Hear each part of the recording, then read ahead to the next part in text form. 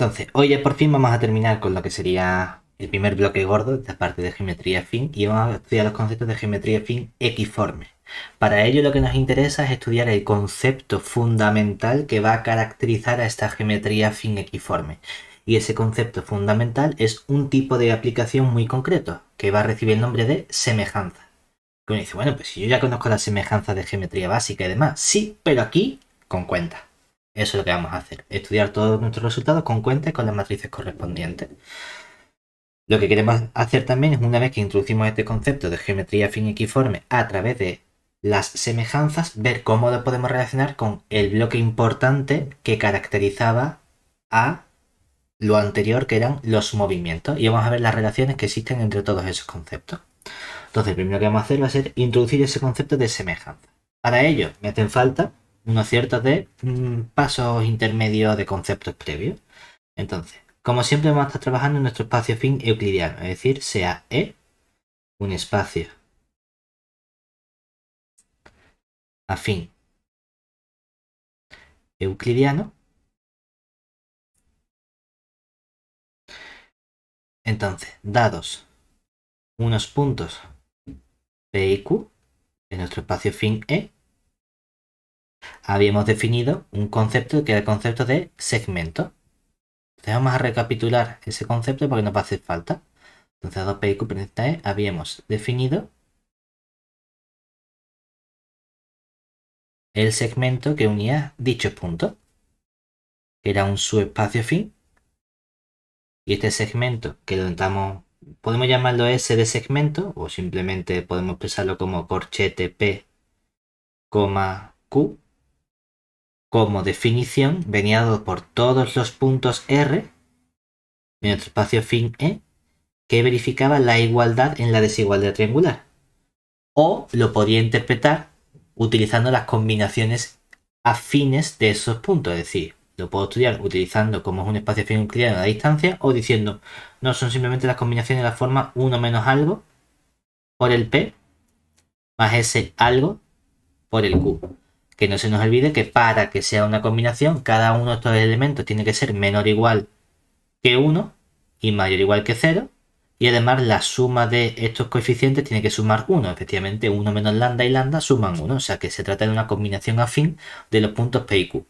Que también lo podemos caracterizar utilizando la distancia diciendo no, son los puntos R pertenecientes a E tales que la distancia que hay del punto P al punto Q es la misma que la distancia que hay del punto P al punto R más la distancia que hay del punto R al punto Q. Pues sí, mira, tenemos varias características de un segmento, o bien como combinaciones o bien con distancia.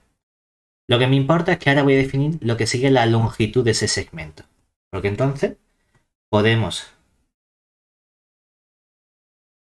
definir la longitud.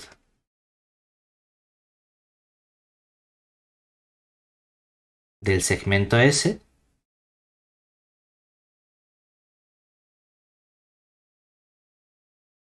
como lo llamo L mayúscula de longitud. Yo estoy más acostumbrado a poner la minúscula, pero le voy a usar la mayúscula, vamos a poner la mayúscula, no pasa nada. L mayúscula de S es simplemente por definición la distancia que hay entre sus extremos, es decir, la distancia que hay del punto P al punto Q. ¿De acuerdo? Vale, pues como tengo un nuevo elemento que va a jugar un papel fundamental, vamos a tratar de estudiar una relación que pueda establecerse entre distintos segmentos. A lo mejor yo no tengo iguales segmentos, pero tienen un elemento en común que es la distancia o longitud de ese segmento. Por eso me va a dar una cierta caracterización que me permite estudiar una cierta igualdad entre segmentos. Y esa igualdad es una equivalencia de los segmentos. Es decir, definición. Nosotros diremos que dos segmentos, es decir, dos segmentos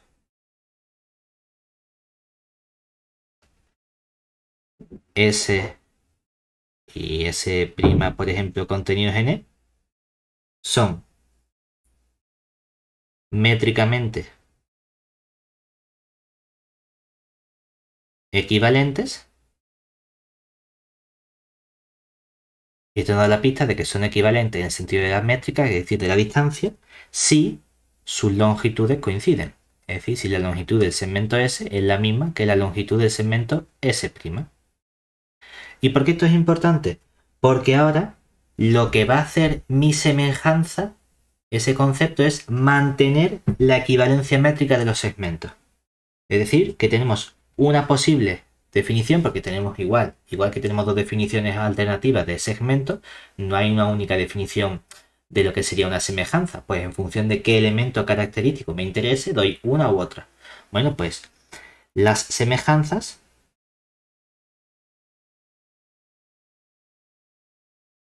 van a ser los elementos que mantienen, mantienen, conservan, preservan, lo que queramos, mantienen la equivalencia métrica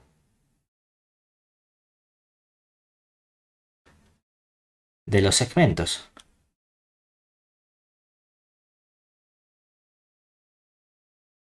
Es decir, ya podemos introducir lo que sería una definición en este sentido, es decir, definición de semejanza. Va a ser una aplicación, es decir, una aplicación biyectiva, podemos poner simplemente una biyección F que vaya del conjunto E en sí mismo es una semejanza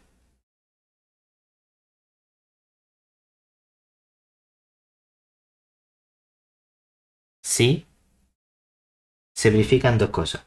Por un lado, dado cualquier segmento, S contenido en E, se cumple que la imagen vuelva a ser un segmento. Es decir, f de s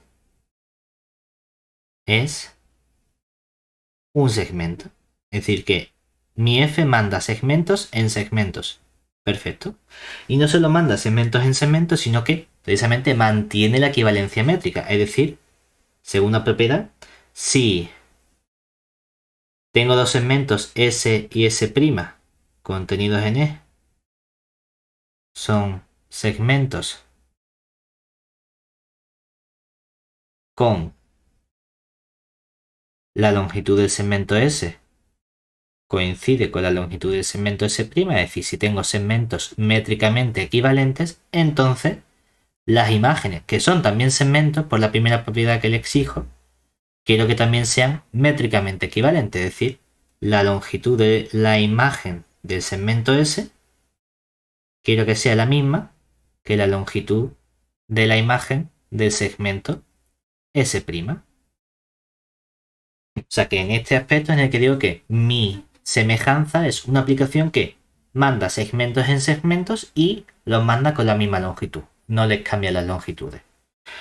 Ahora bien, aquí en cierto modo no estamos manteniendo la información de lo que ocurre con las aplicaciones afines. Porque no estoy diciendo que esta aplicación que va del conjunto E en el conjunto E, que ese conjunto E tiene una estructura algebraica muy fuerte detrás de espacio fin y de espacio fin euclidiano, esa estructura, con esta definición, mi aplicación F la está ignorando.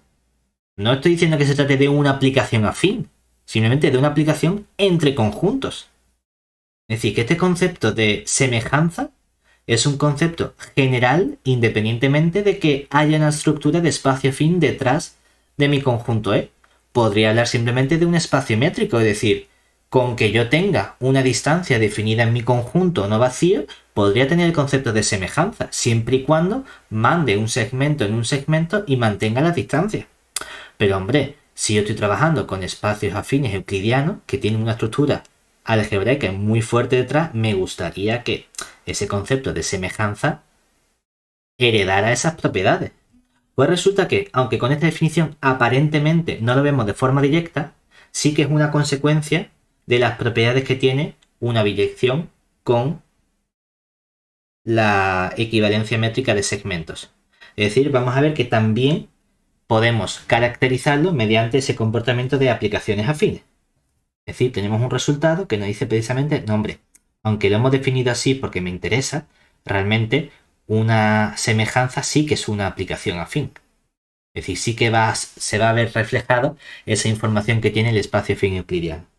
En particular, sea f una semejanza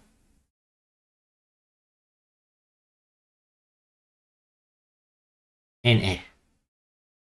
Pues resulta que entonces f es no solo una aplicación afín, sino que es una transformación afín.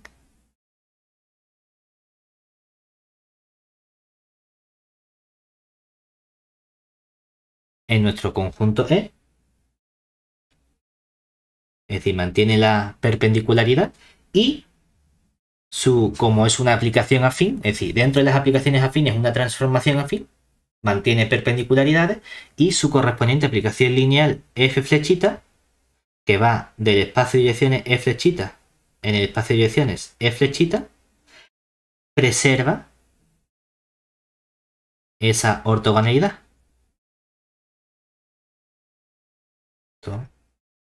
Ortogonalidad. Es decir, lo que tenemos nosotros es que precisamente, bueno, Simplemente que si tengo vectores perpendiculares, mantiene, lo manda en vectores perpendiculares. Es decir, que si el producto escalar de un vector v flechita con el w flechita fuese 0, la de las imágenes f flechita del v flechita sería también 0 con el f flechita del w flechita. Aunque yo tengo ya un primer resultado que me dice, mira, es que tu semejanza, que es aplicación predictiva, resulta que sí que obtiene la información sobre el espacio afín euclidiano, porque en particular una transformación afín es una aplicación afín y además su correspondiente aplicación lineal es bastante buena porque mantiene la perpendicularidad u ortogonalidad de vectores. Vamos a ver si podemos encontrar algún otro tipo de caracterización. Podemos ver que podemos encontrar una caracterización atendiendo no solo a este concepto de ortogonalidad, sino viendo qué hace mi aplicación lineal con los vectores. Si estoy diciendo que mi semejanza tiene que mantener la distancia entre segmentos, en cierto modo yo puedo caracterizar el segmento a partir del vector que une sus extremos. Y que mantenga la distancia es en cierto modo que mantenga casi casi el módulo de esos vectores. ¿De acuerdo? Pues vamos a ver si eso es exactamente así, cuáles son las condiciones que nos hacen falta. Pero vamos a buscar ahora una caracterización de las semejanzas utilizando otras herramientas, que es el siguiente resultado. Y proposición, bueno, pues sea f, que va de e en e, simplemente una dirección.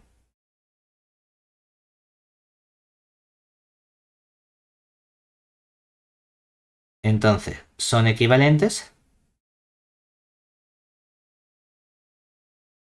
las siguientes afirmaciones. Por un lado, que f sea una semejanza. Es decir, una semejanza con la definición que hemos dado de semejanza. Que mande segmentos en segmentos y que mantenga la equivalencia métrica de esos segmentos. O, precisamente, aquí hay una implicación. Hay una implicación que es, si es semejanza, entonces una transformación afín, pero no tengo una implicación contraria. Es decir, porque es una transformación afín que preserve la ortogonalidad, esta proposición anterior no me está diciendo que eso sea una semejanza. Pues vamos a ver qué me hace falta para dar la implicación contraria, es decir, para tener ese recíproco.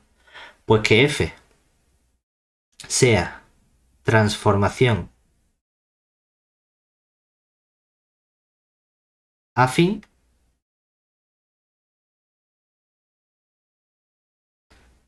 y la f flecha correspondiente, su aplicación lineal, sea una semejanza, pero una semejanza vectorial. ¿Y qué significaba que fuese una semejanza vectorial? Lo que significa es que existe una cierta constante ρ positiva, es decir, perteneciente a R+, que para la aplicación lineal, para la f flechita, cuando le aplico la imagen de cualquier vector v flechita y estudio su norma, eso me da rho veces la norma del vector v flechita. Y eso es, sea cual sea el vector v flechita que yo coja de mi espacio vectorial de direcciones e flechita. ¿De acuerdo? Este número rho que tengo aquí recibe un nombre especial y se llama la razón de la semejanza. Y vamos a ver que no es un número cualquiera, sino que es un número que juega un papel fundamental a la hora de caracterizar y clasificar nuestra semejanza. Pero lo que ya vemos es que precisamente para dar la implicación contraria, para poder pasar de una transformación afín que preserve la ortogonalidad suficiente a una semejanza, me hace falta que no solo preserve la ortogonalidad, sino que también mantenga o haya una relación de los módulos de los vectores. Es decir, que mande un vector en un vector proporcional a él. ¿Vale? En cuanto al módulo, hablando. Y por otro lado, también puedo hacerlo en cuanto a esa proporcionalidad de las distancias. Porque lo que quiero también es que es equivalente a que exista ese ρ perteneciente a R más, tal que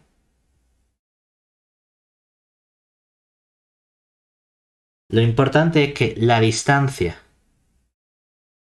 que es del punto imagen de P al punto imagen de Q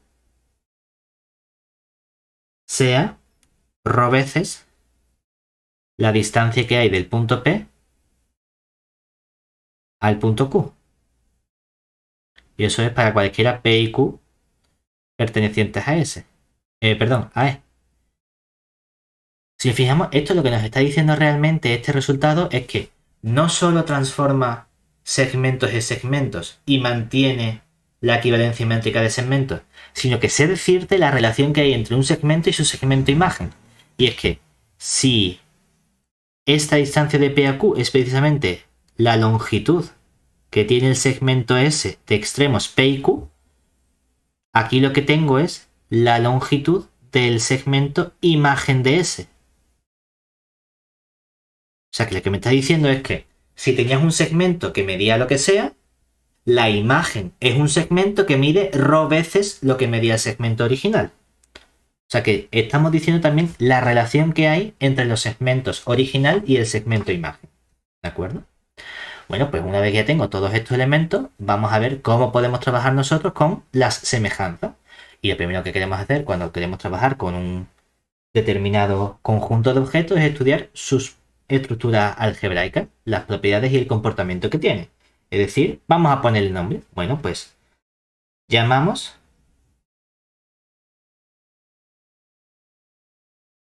G O A D E al conjunto de todas las semejanzas en E. Como las semejanzas son aplicaciones, precisamente lo que estoy viendo es que el modo que tengo yo de jugar o trabajar con las aplicaciones es mediante la composición de aplicaciones. Tengan propiedades adicionales o no. Esa es la herramienta que me permite a mí trabajar con más de una aplicación. Se llamen semejanza, transformaciones, movimientos, lo que sea. Pero por lo tanto, el primer resultado que obtengo es que este conjunto GOADE, es decir, conjunto de semejanzas con la operación interna de composición, es un grupo. Es decir, que de verdad estas semejanzas son una buena estructura porque puedo componer semejanza y obtener semejanza, puedo obtener la semejanza inversa de una semejanza y sigue siendo una semejanza, es decir, puedo hacer las operaciones correspondientes a las aplicaciones y de verdad sigo estando trabajando en el mismo conjunto. Además, obtengo información sobre qué ocurre con la composición de semejanza y es que si S1 y S2 pertenecen al conjunto de semejanzas con razones, vamos a ponerle ROSU 1 y ROSU 2 respectivamente, entonces la composición de S1 con S2 tiene por razón realmente me da igual que pongas ROSU 1 por ROSU 2 o que pongas ROSU, o sea, que pongas RO2 por ROSU 1 o ROSU 1 por ROSU 2, porque el producto de números reales es conmutativo, ¿de acuerdo? Entonces, tanto la composición de S1 con S2 como la composición de S2 con S1 tienen la misma razón de semejanza que es el producto de las razones de cada uno, ¿de acuerdo?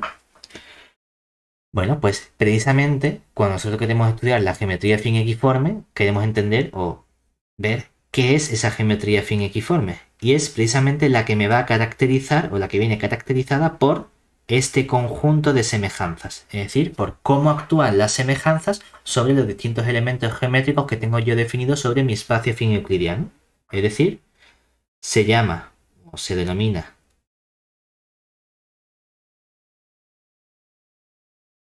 geometría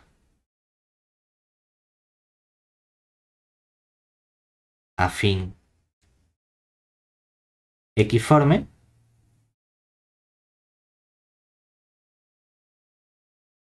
De mi espacio fin euclidiano E a la definida.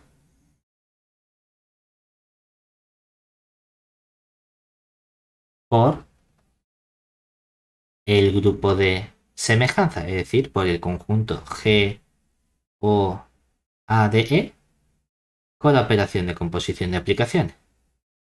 Cuando decimos a la definida por ese grupo, lo que estoy diciendo es a cómo interactúa este conjunto de semejanzas, estas aplicaciones sobre los distintos elementos geométricos, puntos, segmentos, subespacios afines que tengo definidos sobre mi espacio fin euclidiano. Bueno, pues una vez que tengo aquí, vamos a estudiar los distintos elementos que me van a permitir caracterizar a mis semejanzas, porque a fin de cuentas es una aplicación.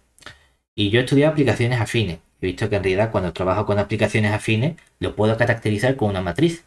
Y luego me he ido a movimientos y resulta que era una aplicación afín que le ponía condiciones adicionales y también lo podía caracterizar mediante una matriz.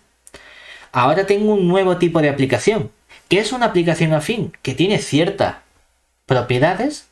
Pues lo que me gustaría saber es decir, bueno, realmente como una semejanza vuelve a ser una aplicación afín, y las aplicaciones afines se caracterizan a partir de matrices, vamos a ver cómo puedo caracterizar mis semejanzas a partir de matrices o qué información puedo obtener relacionada con movimientos o con la información que hayamos estudiado en los temas anteriores. Lo primero que vamos a hacer es que ocurre lo mismo que ocurría con los movimientos. Va a depender, en cierto modo, de esos puntos fijos, pero esos puntos fijos van a venir determinados por el tipo de razón que tiene mi semejanza. Y hay un elemento característico, que la semejanza importante, por así decirlo, es la que tiene razón 1 o la que tiene una razón que no sea 1. Porque la que tiene razón 1, lo que van a hacer es que me mantienen la misma distancia entre los puntos correspondientes. Y que mantenga la misma distancia me suena de algo. Precisamente el concepto de isometría. Una isometría no era otra cosa que una aplicación que mantenía la distancia entre puntos. Ah, pues esos conceptos ya hemos estudiado antes. Pues vamos a ver qué relación hay entre lo que hemos visto y el nuevo concepto general de semejanza. Primero, vamos a ver qué ocurre con una semejanza que no tenga razón 1. ¿Por qué? Porque precisamente las semejanzas de razón 1 son los movimientos que ya hemos estudiado anteriormente. Bueno, pues vamos a ver. Si yo tengo una semejanza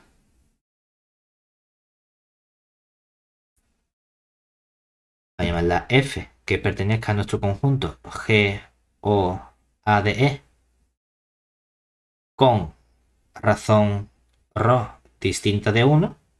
¿Por qué? Porque las semejanzas con ρ igual a 1 son precisamente los movimientos Y de movimiento ya lo hemos estudiado bastante en detalle en los dos temas anteriores. sea que con los movimientos ya conozco yo la información, la clasificación y todo lo que puedo obtener. Bueno, pues una semejanza con razón distinta de 1 tiene un único punto fijo. Podemos llamarlo C perteneciente a E. Y recibe un nombre especial, porque como es el único punto fijo que tiene, le vamos a poner nombre que se llama, lo hemos llamado C, porque le vamos a denotar centro de la semejanza.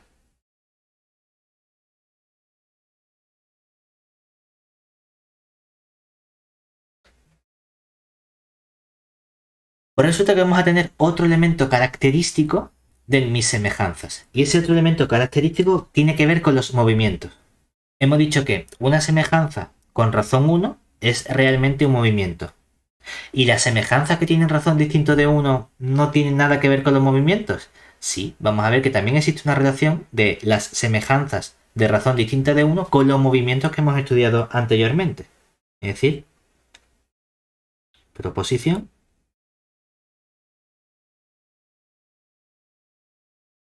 esto va a estar genial porque como yo sé caracterizar los movimientos, voy a saber caracterizar también la semejanza a través del movimiento correspondiente. Bueno, pues sea F una semejanza, es decir, perteneciente a G o A de E. Con un RO distinto de 1. Realmente esto también valdría para el RO igual a 1, pero... Entonces, lo que vamos a tener es que existe un único movimiento, es decir, un único M. Los movimientos, el conjunto de movimientos, lo habíamos denotado igual, pero en lugar de con la G, si la G, es decir, perteneciente a O, A, D, E. De forma, vamos a poner por si acaso movimiento.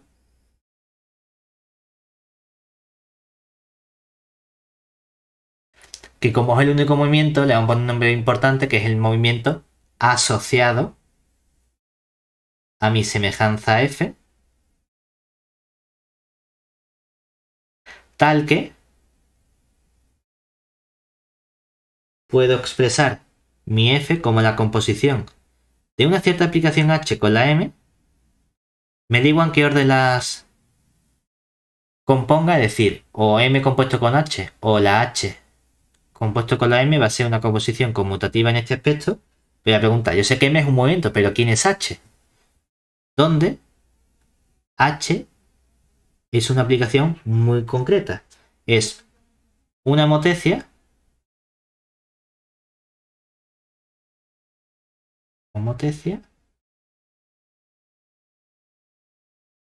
con una cierta razón positiva.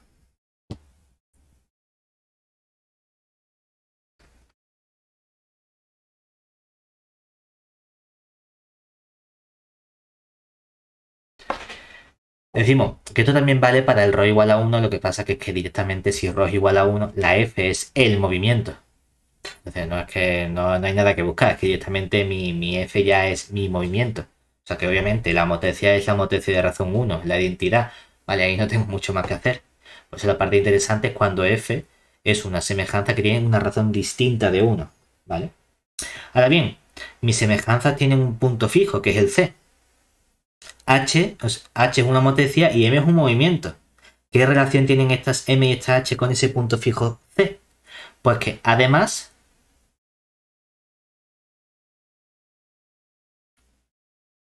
ese punto fijo C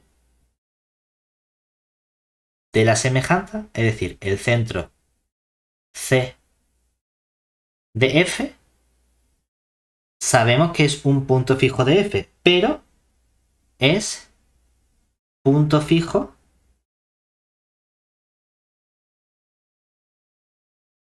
de y de H. Y esto es importante porque resulta que yo tenía dos categorías de movimiento, las que tenían punto fijo y los que no tenían punto fijo.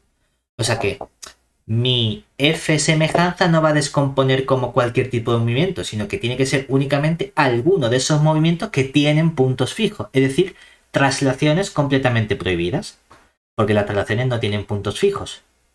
Y resulta que pueden ser semejanzas, pueden ser reflexiones, o sea, eh, pueden ser reflexiones o simetría, pueden tener giros, pero no se va a tratar nunca de cosas con traslaciones.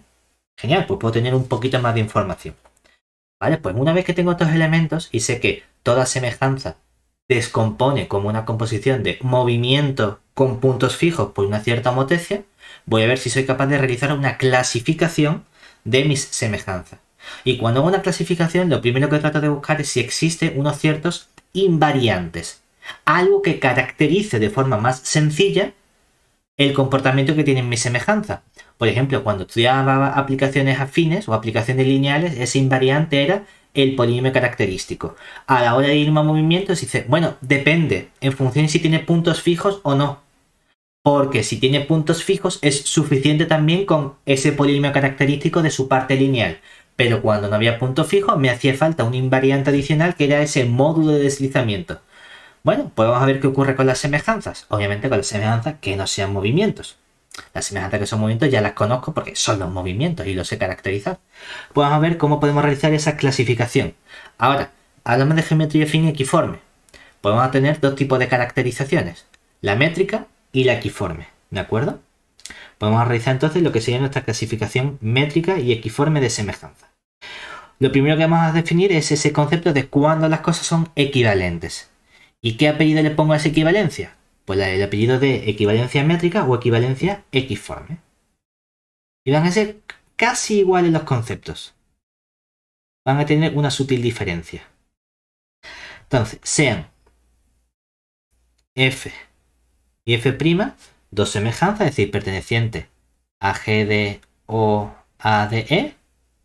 Por si acaso vamos a ser redundantes y vamos a poner dos semejanzas. Por si se nos olvida, perdemos de vista que es G o A E. Entonces, decimos que F y F' son, por un lado, métricamente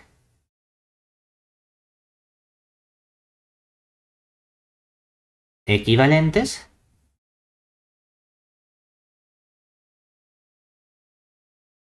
si existe una aplicación G que no es una aplicación cualquiera, sino que es un movimiento, es decir, perteneciente a OADE. Por si acaso ponemos aquí movimiento, tal que puedo expresar la f' como la composición de la inversa de la g con la f con la g. Y vamos a hablar de equiformemente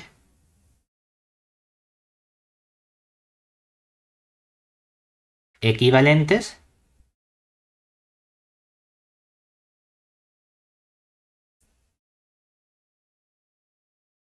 si existe una aplicación pero que no es un movimiento, le exijo un poquito más. Y es que sea una semejanza. Por si acaso, le ponemos aquí semejanza. Tal que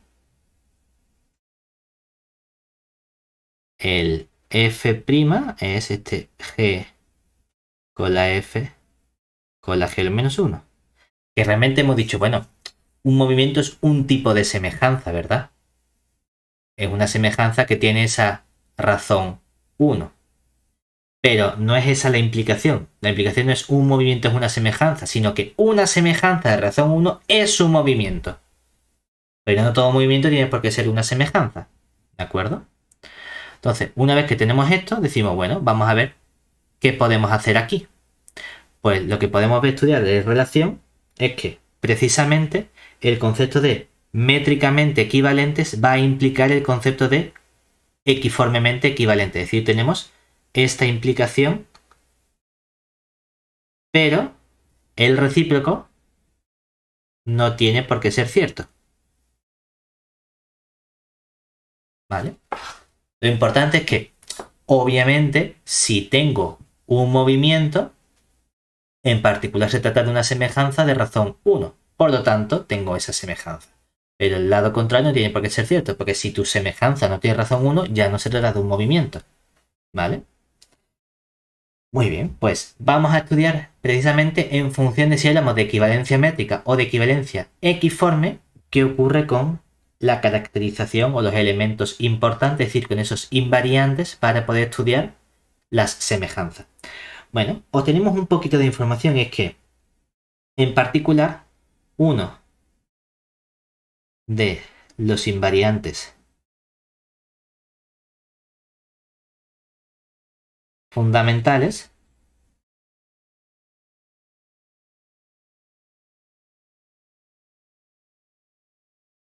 es la razón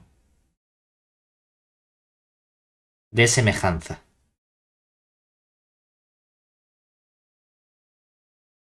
Tanto para la métrica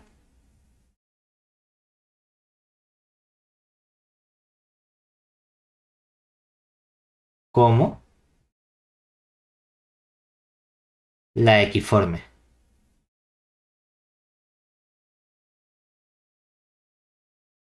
Entonces, una vez que tenemos esto, hemos visto también que había un elemento importante que era el centro, la razón, y dada una, una semejanza de razón distinto de 1, podía encontrar un único movimiento asociado a esa semejanza. Pues resulta que ese movimiento también va a ser un invariante, pero para la equivalencia métrica únicamente. Es decir, el movimiento asociado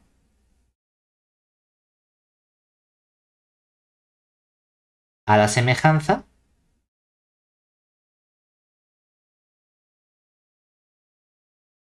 es un invariante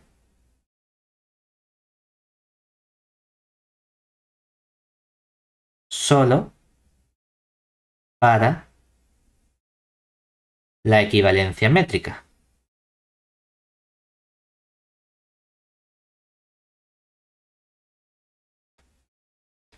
Es decir, no para la equivalencia uniforme, eh, equiforme, ¿verdad? Y por otro lado, como no dejaban de ser aplicaciones que tienen su correspondiente polinomio, pues además el polinomio característico de la parte lineal, es decir, el chi de f flechita, es un invariante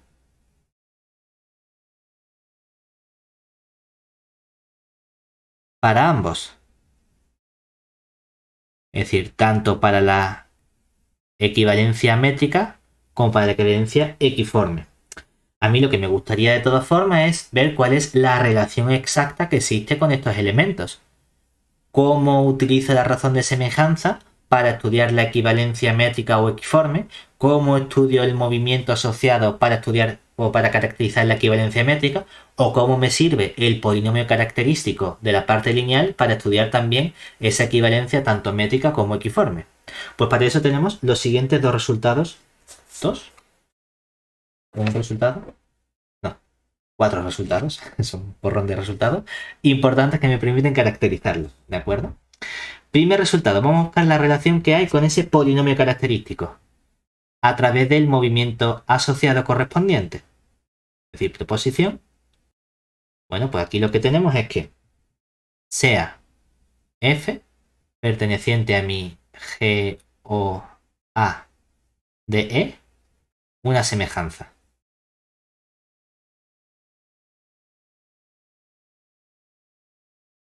De modo que aquí vamos a estar exigiendo prácticamente todo el rato que la rotación es distinto de 1 porque si es igual a 1 es un movimiento ya lo hemos clasificado.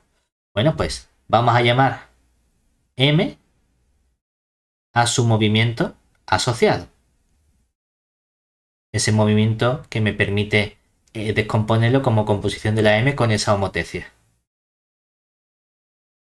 Bueno, pues vamos a estudiar la relación que hay entre sus polinomios característicos. Es decir, entonces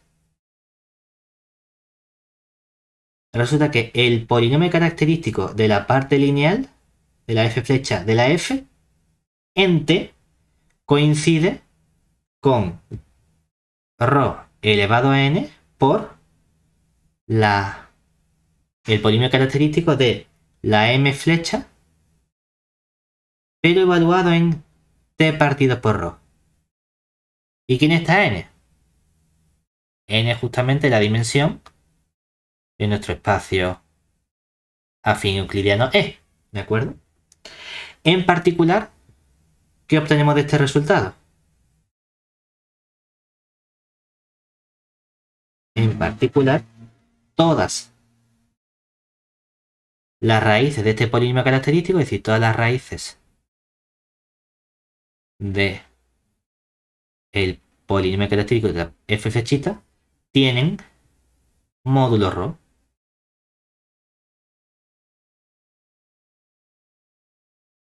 Precisamente con los movimientos veía que tenían módulo 1, que era la razón de la semejanza.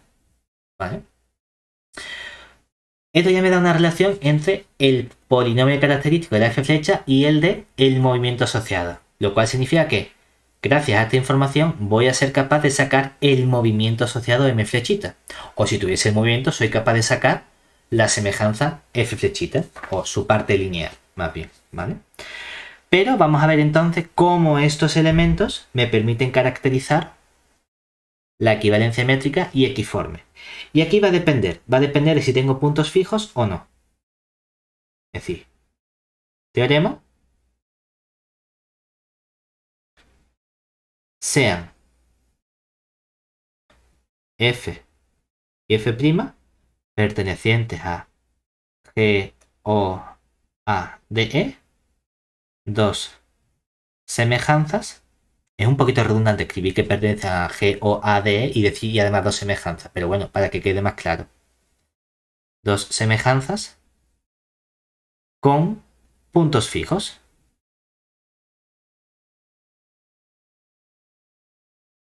Ojo, que esto es un poquito... No estoy diciendo que el arroz sea distinto de 1. También estoy incluyendo el caso ρ igual a 1, pero en el que se trata de un movimiento con puntos fijos. Es decir, lo, único que estoy excluyendo son los movimientos sin puntos fijos, ¿vale? Por eso aquí no hemos dicho simplemente sean f y f' dos semejanzas con razón distinta de 1. Porque también puede tener razón igual a 1, pero que ese movimiento correspondiente tenga puntos fijos. Bueno, pues entonces son equivalentes cuando las cosas tienen puntos fijos funcionan relativamente bien. O es mucho más sencillo, como hemos visto también con la clasificación de los movimientos. Pues es lo mismo decir, en ese caso, que f y f' son métricamente equivalentes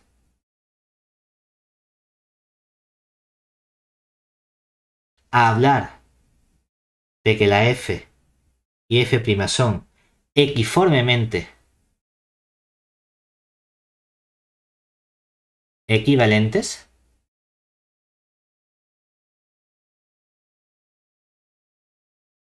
o decir que ambos elementos tienen el mismo polinomio característico pero para la parte lineal.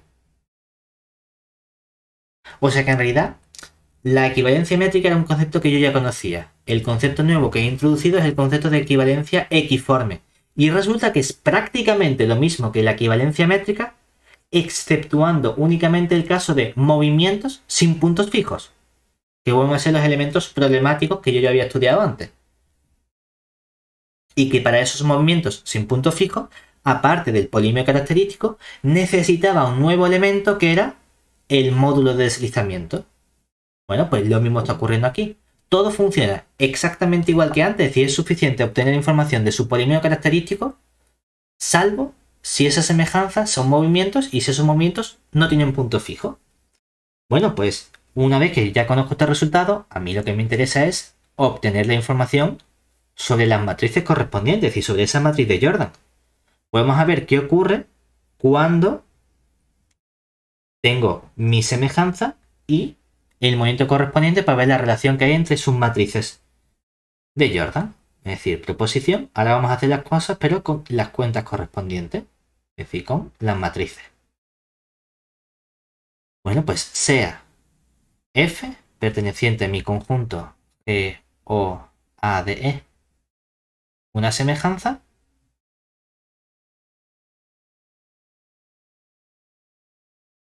y le voy a exigir que tenga una razón RO distinta de cero. ¿Vale? Vamos a llamar C al centro, es decir, ya estoy imponiendo que no se trate de un movimiento sin puntos fijos y M su movimiento asociado. Entonces, como M es un movimiento, para este movimiento M sí puedo calcular la matriz de Jordan de su parte lineal. Pues vamos a poner el nombre, es decir, sea J flechita la matriz de Jordan el correspondiente parte lineal de la M flechita. Que si nos acordamos, cuando vimos la clasificación de movimientos, había dos tipos de matrices, la que tenía la J flechita y la que tenía ese J sub 1 flechita. ¿Por qué es la J y no el J sub 1? Porque como mi semejanza tiene un centro C, tiene un punto fijo, ese punto fijo también es un punto fijo del movimiento M como hemos visto. Por lo tanto, no hay traslación, no hay módulo de deslizamiento y únicamente lo caracteriza su polinomio característico. Bueno, pues si llamo J flechita a la matriz de Jordan de mi flechita, entonces lo importante que hace falta para las aplicaciones no es la base correspondiente, sino el sistema de referencia. Bueno, pues entonces existe un cierto R sistema de referencia.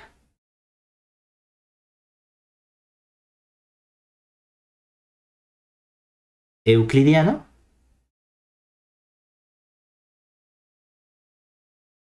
con origen. Como origen E su cero es precisamente el centro C del punto fijo de la semejanza, tal que la matriz de Jordan de esa semejanza, es decir, la matriz respecto del sistema de referencia. De la semejanza F no es otra cosa que estudiar la matriz respecto del sistema de referencia R y como mi F descompone como la composición del movimiento M con la aplicación H y como yo sé que la matriz de una composición es el producto de las matrices, es simplemente coger en la matriz respecto de R de esta homotecía H que tiene por matriz a la identidad 1, 0 pero aquí está multiplicada por esa razón de la motecia ρ. Y la matriz del movimiento M es precisamente como tiene puntos fijos 1, 0, 0 y aquí aparece la J flechita que hemos visto. Y cuando multiplico estas dos matrices, que lo que hemos hecho es simplemente decir esta es la matriz respecto de R de la H, esta es la matriz respecto de R de la M. Y cuando multiplico estas dos matrices por bloque, lo que nos queda es la 1, 0, 0. Y ahora aparece en vez de la J el ρ por la J flechita. Donde esta H era no una motecia cualquiera, sino que antes dijimos era una motecia de razón positiva. Es que sé exactamente cuál es la razón. Siendo H la homotecia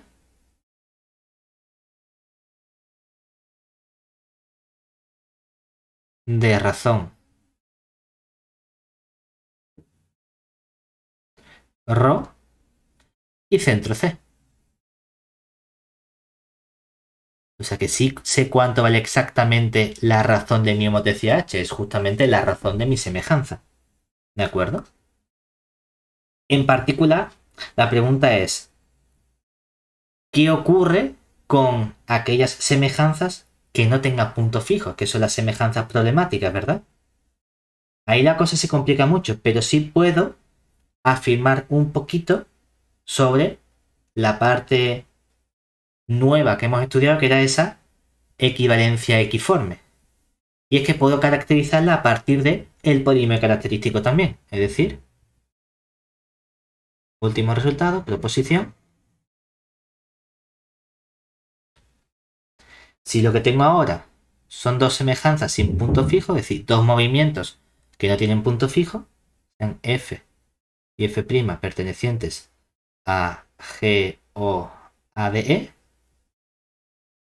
sin puntos fijos,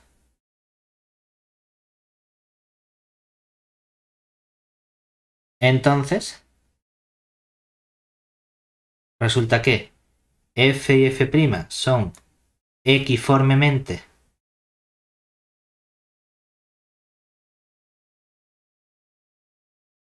equivalentes si y solo si su polímero característico es el mismo. Si el x de f coincide con el x del f'. ¿Y qué pasa con la equivalencia métrica? Ah, la equivalencia métrica es la equivalencia que hemos visto para movimientos. Y ahí tenía que coincidir el polímero característico y el módulo de deslizamiento. Porque no tenían puntos fijos. Pero la equivalencia equiforme exige un poquito menos y ahí es suficiente para estudiar la igualdad entre los polímeros característicos. Que realmente es como si hubiésemos dicho, mm, cuando trabajamos con movimientos, podríamos haber definido ese concepto de equivalencia equiforme o de equivalencia métrica y haber dicho, ah, realmente la equivalencia métrica se tiene para movimientos con puntos fijos. Si no tiene puntos fijos, se tiene la equivalencia equiforme y para tener la métrica me hace falta que se tenga también la igualdad de los módulos de deslizamiento. Si no, si lo único que coincide es el polímero característico, hablo de equivalencia equiforme, pero no puedo hablar de equivalencia métrica, como en el caso de los movimientos que sí tienen puntos fijos. ¿De acuerdo? Esa es la única diferencia.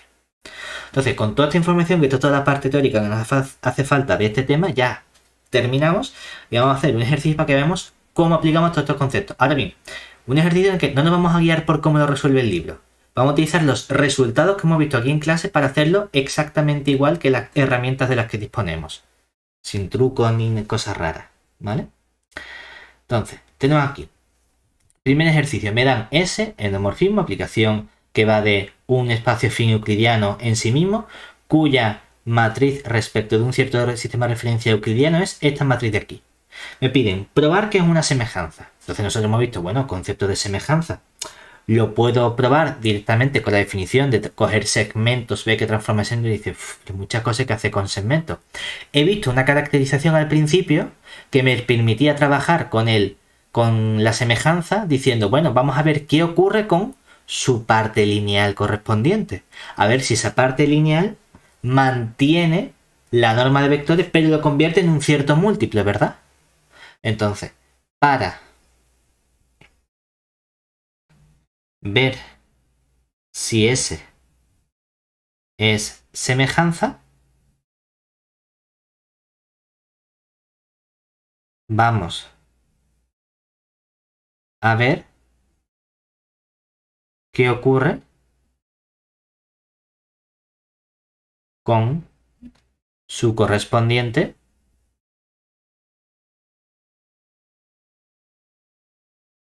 parte lineal.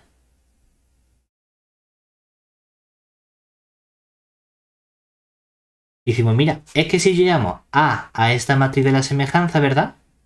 Para la S flechita, ¿cuál sería la correspondiente A flechita? La submatriz que se obtiene al eliminar la primera columna y la primera fila, ¿verdad? O sea, que la matriz de la S flechita sería la matriz 5 medios menos 5 raíz de 3 partido de 2, 5 raíz de 3 partido de 2 y 5 medios.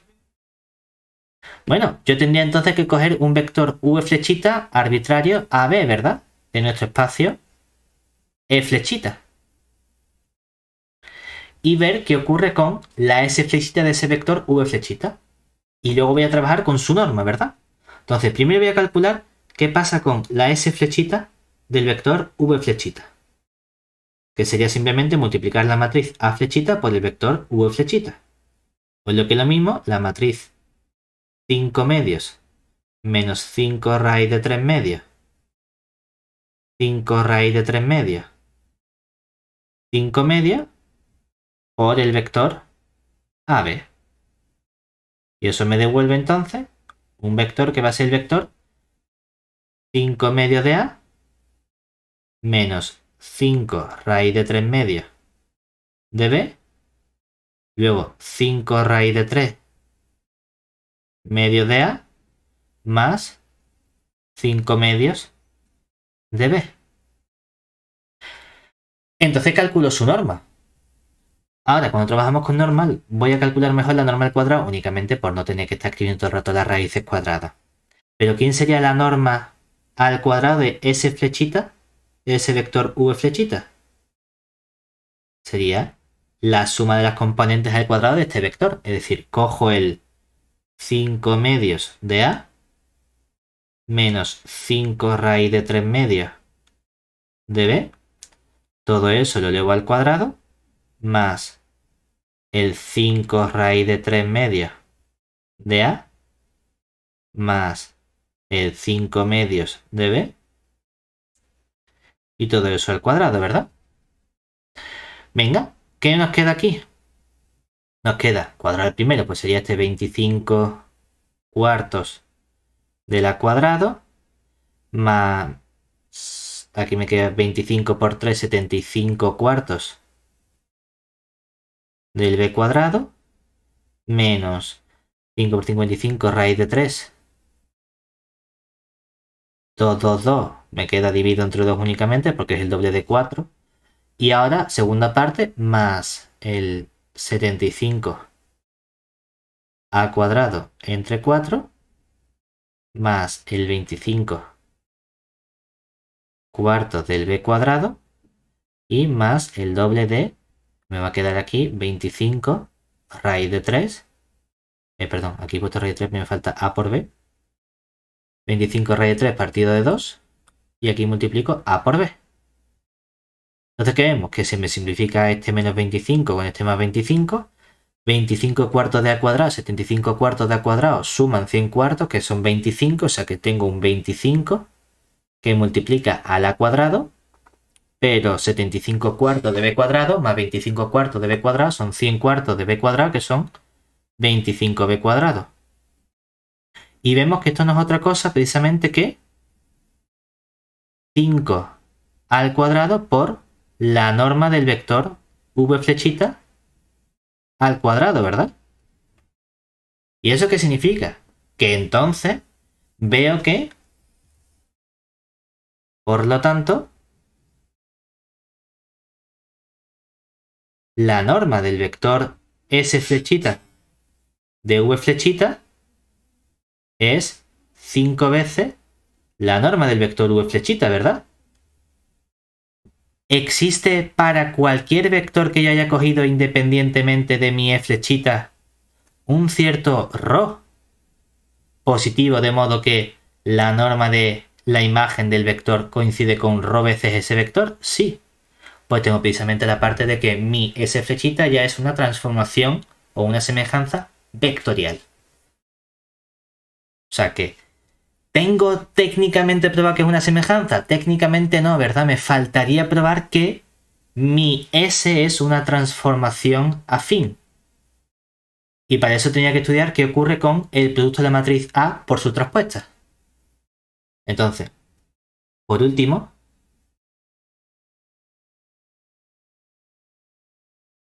faltaría estudiar si S es una transformación.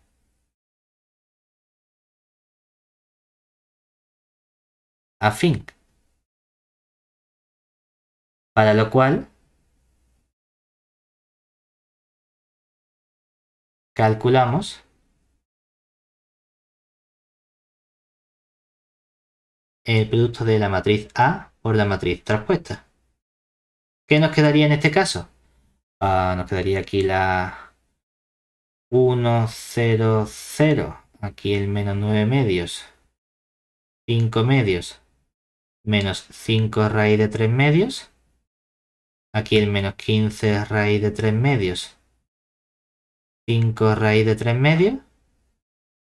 5 medios. Y lo multiplico por la otra respuesta. Que ahora sería el 1, 0, 0. El menos 9 medios. 5 medios menos 5 raíz de 3 medios. Aquí vendría el menos 15 raíz de 3 medios. 5 raíz de 3 medios. Y 5 medios. ¿Vale? Cuando multiplicamos, ¿qué nos queda? Nos queda fila por columna. Esto sería todo eh, el 1 menos 9 medios Aquí el menos 15 raíz de 3 medios. Este por este, aquí me va a quedar este por este menos 9 medios. Luego, adiós, señor. Eh, vale, ¿qué nos va a quedar? Nos va a quedar aquí. Menos por menos más, 9 sería 81 cuartos, ¿no? Luego este por este me va a quedar 25 cuartos. Y luego menos con menos me va a quedar más y me va a quedar 75 eh, cuartos. Que son 100 cuartos y 81 cuartos, pues 181 cuartos, ¿no? Lo que sea. ¿De acuerdo? Y em, ahora calculo el menos 9 con este. Puf, ¿qué de cuentas hay que hacer?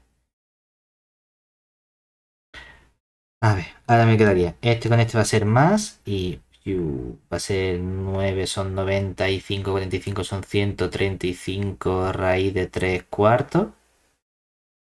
Luego me va a quedar este 5 medios por este que me va a ser más 25 raíz de 3 medios.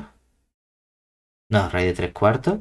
Y me va a quedar este por este va a ser menos. Ah, vale, mira, este al menos sale este con este fuera. Me queda aquí un 135 raíz de 3 medios. ¿Vale? Perfecto. Y cuando estudie fila por columna, este va a ser fácil, porque me va a quedar el menos 15 raíz de 3 medios. Mira qué bien. De momento, menos 9 medios, menos 9 medios, menos 15 raíz de 3 partido por 2, menos 15 raíz de 3 partido por 2, o partido por 4, no partido por 2. Ahora vamos a ver si este elemento de aquí coincide con el 135, pues será este por este. va a ser cuánto? Fila por columna va a ser un 15 al cuadrado. Raíz de 3 eh, cuartos. Luego este por este va a ser un 25 raíz de... No, 25 por 3 cuartos. Y luego este por este va a ser... Ah, no, estoy multiplicando el que no es, porras. Sí, esa es la otra Estoy multiplicando la última columna. Eh, este por este va a ser menos con menos va a ser este 15 raíz de 3, luego venía el 5 por este y este con este en menos, o sea que me va a quedar de nuevo el 135 raíz de 3 y este por este he puesto medios cuando era un cuarto y aquí cuartos, ¿vale? Y luego el último, pues ya el último es lo que sea, ¿verdad? Porque lo que me interesa es que he obtenido efectivamente una matriz simétrica y podría comprobar también ahora si A traspuesto por A me queda lo mismo que bueno, por el aspecto que tiene, la verdad, la respuesta por A, eh, la misma matriz prácticamente va a ser fila por columna, me va a quedar los mismos elementos. ¿De acuerdo? O sea que guachi. Eso significa que tengo una transformación afín, como tengo transformación afín y tengo que es una, una semejanza vectorial, efectivamente mi S es una semejanza. Es decir, concluimos que S es semejanza. Además he obtenido ya un poquito de información adicional sobre mi semejanza, ¿verdad? He obtenido que es una semejanza que tiene una razón ρ que vale 5. Ya tengo un poquito más. Como la ρ además vale 5, es decir, ρ es igual a 5, que es distinto de 1, se trata de una semejanza que además tiene puntos fijos. Es decir, que yo ya sé del apartado 2, ya conozco la razón. La razón vale 2. Lo que me hace falta es ver cuál es el movimiento asociado a ese. Como tiene puntos fijos, lo único que me hace falta para caracterizarlo es la información que tiene su polinomio característico, ¿verdad? Y hemos visto una relación entre el polinomio característico de la S y el de la M. Realmente de la parte lineal, ¿verdad? Es decir, recordemos que el polinomio característico de la f flechita en t era ρ elevado a n por el polinomio característico de la m flechita, pero en t partido de ρ. En nuestro caso, lo que estamos diciendo es que el polinomio característico de la s flechita, la hemos llamado s en vez de f, en t es 5 al cuadrado por el polinomio característico de la m flechita, pero en t partido por 5. Bueno, pues vamos a estudiar el polinomio característico de la s flechita, que es lo que me hace falta para ver cómo saco el de la m, ¿verdad? Entonces, ¿yo qué tengo? ¿Quién es este polinomio característico de la s flechita en un cierto t? Va a ser el determinante de mi 5 medios menos t, 5 raíz de 3 partido de 2, menos 5 raíz de 3 partido de 2 y 5 medios menos t.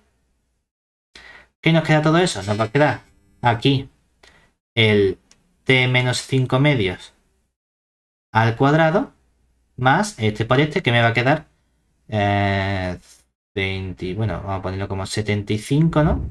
Partido de 4, ¿vale? Una vez que ya tenemos esto, dice, oye, yo tengo información precisamente sobre los autovalores, ¿verdad? Se trata de autovalores de qué tipo? Autovalores complejos. Pero no me interesa eso para mi semejanza, pero lo que quiero caracterizar quién es. No este polinomio, sino el polinomio de la m flechita. Vamos a desarrollar esto por si acaso, porque ¿cuánto nos quedaría esto? Sería mi t al cuadrado, el doble primo por el segundo me quedaría menos 5t, y luego sumo el cuadrado del segundo, ¿verdad? Que sería más el 25 cuartos, pero 25 cuartos con 75 cuartos nos queda 100 cuartos que suman 25. ¿Por qué hago esto? Porque, por otro lado, esto con quién coincide? Coincide con 5 al cuadrado por el polinomio característico, pero evaluado en t partido de 5, ¿verdad? Pero entonces, ¿yo qué puedo sacar? ¿Que quién sería el polinomio característico de la m flechita, pero no en t, sino en t partido de 5? paso el 5 al cuadrado dividiendo. Pero si 5 al cuadrado divide a t cuadrado, lo puedo expresar como t partido de 5, todo eso al cuadrado. Y cuando divido entre 5 al cuadrado, un 5 se me simplifica con este y me queda menos t partido de 5. Y el 25 lo divido entre 5 al cuadrado, que divido 25 entre 25 y me queda más 1. ¿Pero qué significa? Si mi polinomio característico de la m flechita en t partido de 5 es t partido de 5 al cuadrado, t partido de 5 y 1, significa que el polinomio característico de la m flechita en t, ¿quién es? t al cuadrado menos t más 1. Ya conozco el polinomio característico del movimiento asociado, ya puedo clasificarlo, ¿verdad? Porque hemos obtenido así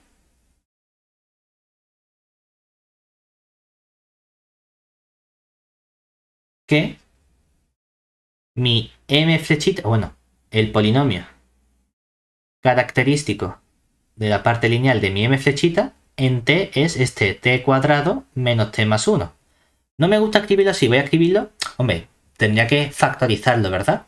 Pero vemos así ojo que aquí que nos queda un t menos un medio al cuadrado, cuadrado del primero t cuadrado, menos el doble primero por el segundo, t menos un medio sería un medio por 2, 1, 1 por t menos t, y ahora aparece más el cuadrado del segundo que sería más un cuarto. Pero como aquí hay un 1 significa que tengo que sumar 3 cuartos, ¿verdad?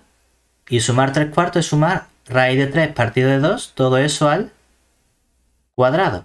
Porque entonces automáticamente veo cuáles son los autovalores. Y es que son autovalores complejos, ¿verdad? Es decir, t es igual a la parte real es este un medio más menos y raíz de 3 partido por 2.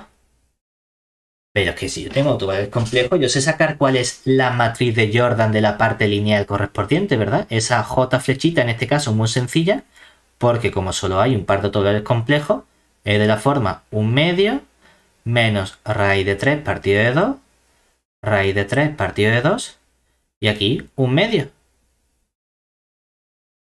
Y entonces ya sabría también clasificar mi movimiento como es un movimiento en el plano. Resulta que m es un giro. Que no me piden el ángulo, pero podría sacar el ángulo, ¿verdad? ¿Cuál es el ángulo tita? El que tiene coseno un medio y seno raíz de 3 partido por 2. Como el ángulo está entre 0 y pi medio, pues se trata de precisamente 60 grados. O 60 grados que serían pi tercios radianes. No me lo piden, pero bueno, puedo dar también el giro de qué se trata. Pero es que entonces, también una vez que, tengo que he obtenido el movimiento m, puedo clasificar tanto m como la matriz de Jordan de la S, ¿verdad? Es decir, que tampoco nos lo piden, pero vamos a dar toda la información ya. ¿Quién sería la matriz de Jordan? Vamos a poner m sub r de el movimiento m completo. Como, no, como tiene puntos fijos, ¿verdad? Sé que no hay un mu, sino que ese mu, ¿cuánto vale? Cero. El resto son cero, ¿verdad? Y sé que su j flechita que aparece aquí, la que he calculado aquí, este un medio menos raíz de 3 medios, raíz de 3 medios y un medio. Pero es que también sé calcular la matriz de mi semejanza S, ¿verdad?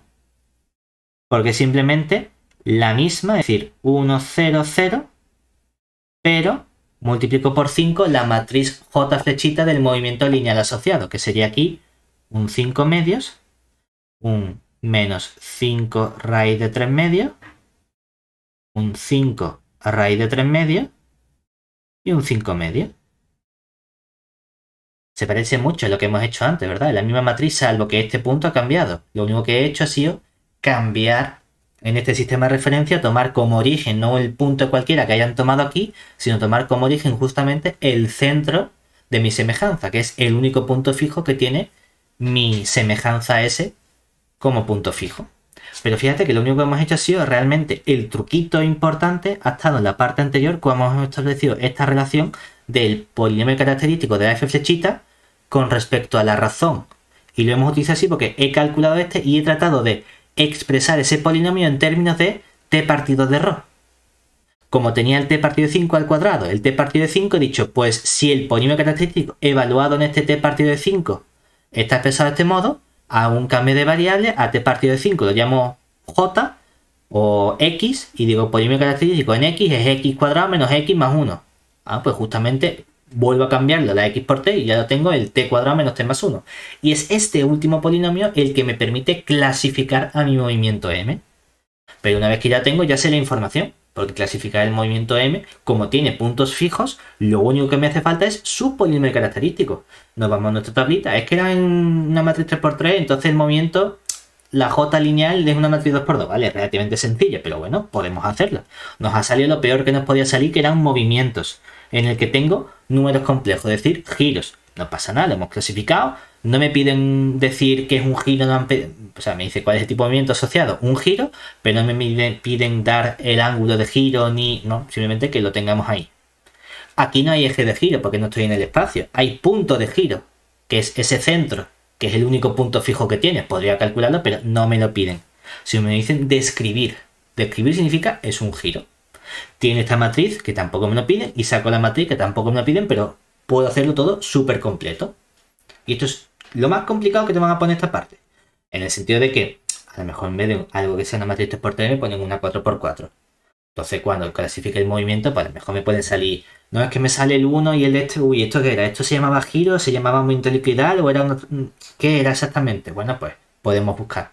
Pero yo sé que tengo una limitación porque como no puede haber traslaciones en esa parte, porque tiene puntos fijos, pues en realidad podría descartar las traslaciones, podría descartar los movimientos helicoidales, todo eso fuera. Simplemente me tengo que fijar en las cosas que tienen puntos fijos y para eso tengo que buscar los autovalores y ya está. ¿De acuerdo? Si nos pidiesen calcular el único punto fijo, ¿qué hago? Estudio el punto fijo de la S, ¿verdad?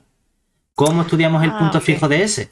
Diría, bueno, pues si esta es su matriz A, busco cuál es el único punto C de la forma 1AB que verifica que cuando yo hago A menos la identidad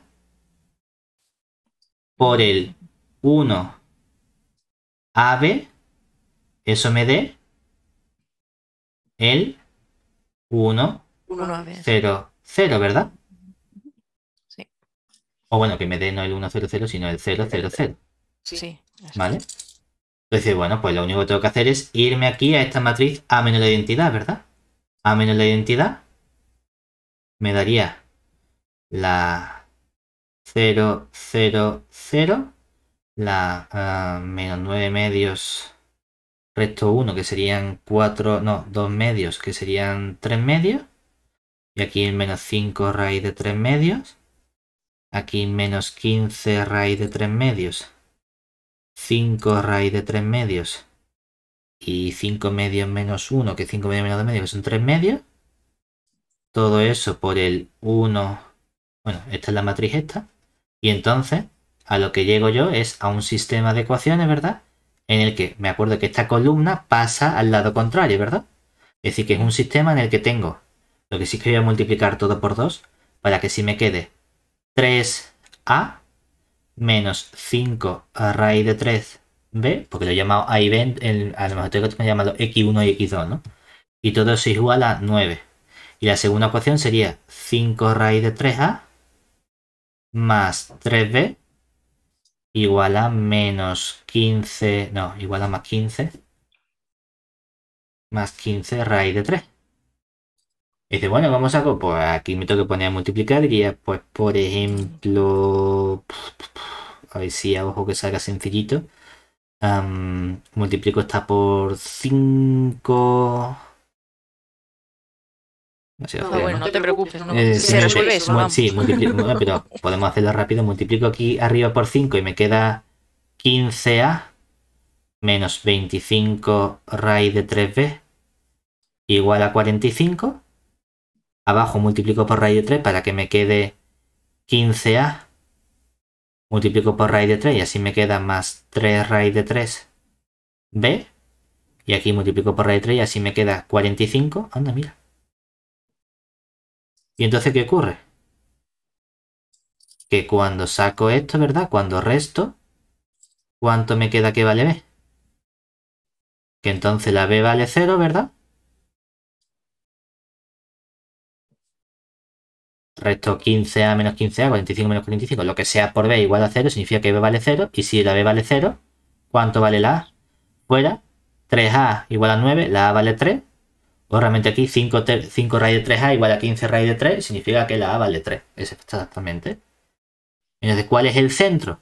El centro sería el punto 1, 3, 0. Y hemos sacado el centro que es ese único punto fijo. Y así tengo también, puedo coger todos los elementos que hay. Fíjate que nos ha salido un único punto fijo, una única solución de este sistema. O sea que de verdad es el único punto fijo que tiene mi semejanza en este caso. ¿Vale? Vale, perfecto.